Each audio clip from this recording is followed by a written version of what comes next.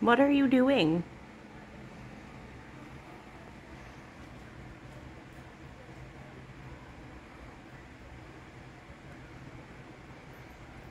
Looking down on us mere mortals?